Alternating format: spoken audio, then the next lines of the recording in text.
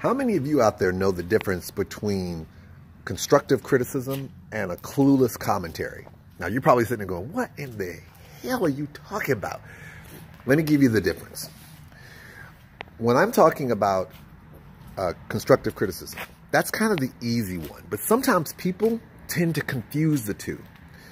First of all, when you're when you're receiving constructive criticism, first of all, remember the source.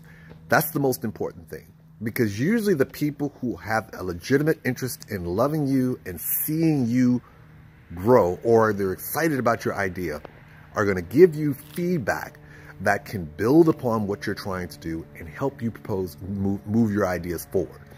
The one thing you have to remember is that any criticism is constructive if it constructs, meaning what does construction do? It builds.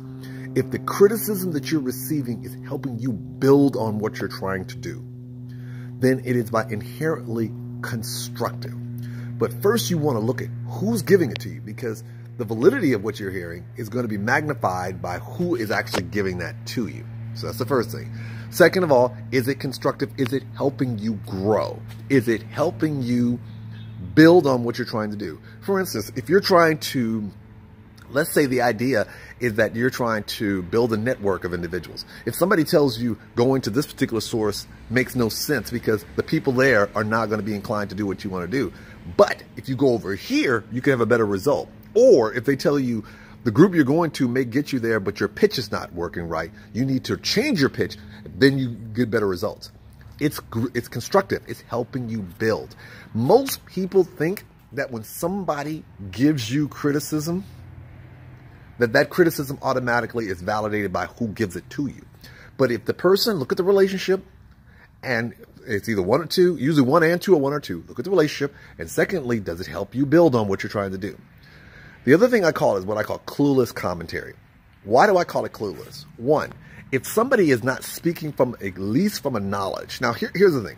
I'm not saying everybody has to know everything. I've gotten great feedback and suggestions from people who didn't have an idea what the hell I was doing. But go back to my original points about helping me build. They were so committed to helping me build, they forced me to look at things different. There are people out there who are clueless about what you're trying to do. They don't necessarily have to do what you've done, but they're clueless about your desire and your energy to get there. So what they do is, they we say it all the time about throwing shade.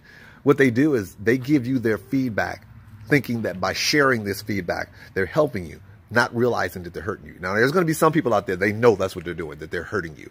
But the reality is, what they're sharing is actually not helping you, it is hurting you. So when I say clueless, it's not because I'm saying they're dumb or they're ignorant. What I'm saying is that they're coming from a position, either one, they don't have an idea of what you're trying to do, meaning they have no experience in the area, or more importantly, they have no idea of the energy of what you're trying to do. Plain and simple. So if they're not, if they're not one, they don't have any, you know, literal knowledge, or if they don't have the energetic or emotional investment in what you're doing, then as far as I'm concerned, they're clueless. So that's the first part. The second thing is the commentary. What did I tell you the difference between constructive criticism and commentary? Constructive is does it build? When people give you commentary, they're not trying to build. What they're trying to do is they're trying to dump. If they're sitting here spending all their time basically just kind of telling you, well, let me tell you why you shouldn't do this because, you know, I don't make, that doesn't make any sense. They, they want to use that time to use their energy to basically dump onto you all the things of why you can't do it not giving you one, not even one mention of what you could do to improve upon it.